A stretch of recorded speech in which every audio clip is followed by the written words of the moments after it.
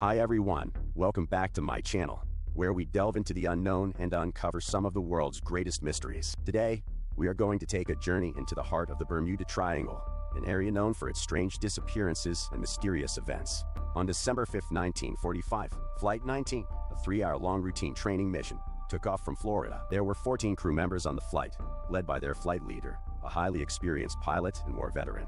About two hours after takeoff, their compass stopped working, and their backup compass failed too. Charles Carroll Taylor was the squadron leader, and after the compass broke down, confusing messages were sent over radio transmission. At 4.56 in the evening, Taylor commanded the rest of the planes to fly east. But some of the crew aboard the flight believed that they were already flying east of Florida and that they needed to fly westward. At 7.04 p.m., Taylor received the last radio transmission from Taylor, and all five planes are lost forever. A search and rescue Marin aircraft took off to find Flight 19, but while looking for them, they too disappeared.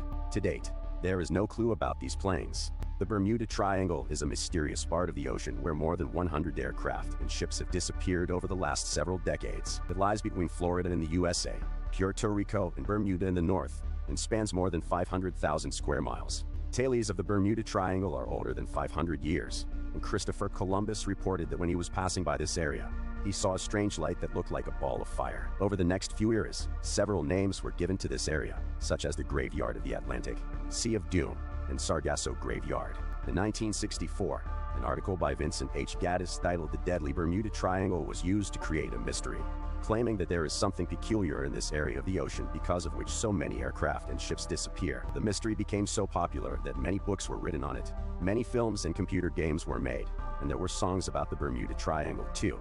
In 1881, the Ellen Austin, a 210-foot-long ship, was traveling from London to New York. On its way, it encountered an unidentified ship near the Bermuda Triangle area.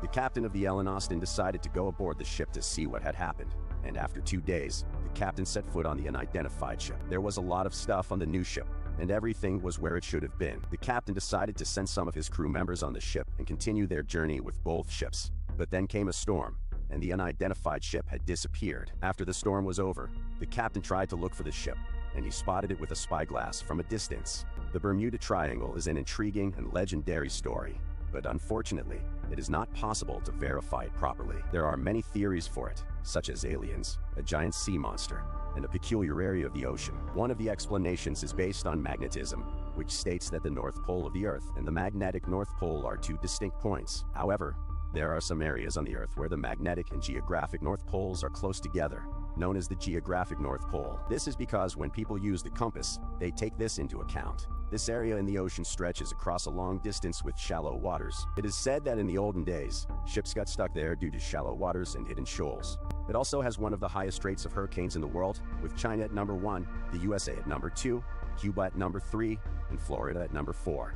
Methane hydrates is the fourth explanation, as it is hypothesized that when there is an excessive amount of methane bubbles in the water, the density of the water gets lower and the buoyancy of a ship cannot be maintained, and so the ship drowns. It is the same logic as when the salt content of the water is high and it becomes easier for things to float. The most important details in this text are that when we start to notice things more, we start to find them more often around us. This is true for the Bermuda Triangle, where some big aircraft and vessels have disappeared. However, in many areas around the world, such as the Malaysia Airlines flight, there have been such disappearances of aircraft and ships. Larry Kusche, the author of the book The Bermuda Triangle Mystery Solved, found that when the mystery of the Bermuda Triangle gained prominence, some people started creating their own stories, some of which were totally absurd and hadn't really happened. This is similar to the story of Ellen Austin.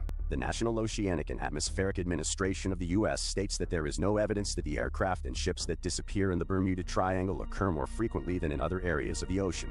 The United States Coast Guard has even said that the Coast Guard of the USA doesn't even recognize the Bermuda Triangle as a hazardous area. The area of the Bermuda Triangle sees a lot of traffic from ships and airplanes, which increases the chances of such incidents happening here. Additionally, the area is often swept by hurricanes and the Gulf Stream, and the water is shallow. Despite the frequent hurricanes, the Bermuda Triangle area was not on the list of the world's 10 most dangerous bodies of water for shipping in 2013. Scientists believe that the mysterious disappearances have nothing to do with the Bermuda Triangle, and that it was actually a meteor seen by Christopher Columbus.